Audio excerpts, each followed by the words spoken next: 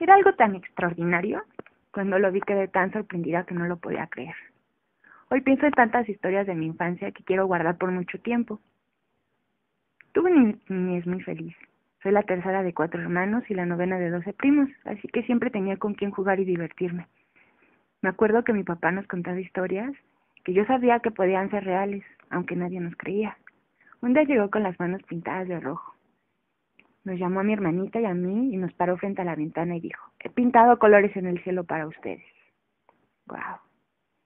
Sentí mi piel chinita. Eran como esas historias que siempre nos contaba, pero en esta ocasión no se trataba de tierras desconocidas ni seres extraños. No, no eran fantasías como lo llamaban mis primos. Era algo que podíamos ver. Tenía que contar que mi papá había pintado colores en el cielo para nosotros, así que fui corriendo al teléfono para llamar a mi prima Lupita y decirle lo que estaba viendo desde mi ventana. Mi prima no me creyó, pero igual se entusiasmó. Recuerdo que cuando la vi se burló mucho de mí. Me dijo que lo que había visto era un arco iris y no era algo que mi papá había hecho. Eso me molestó.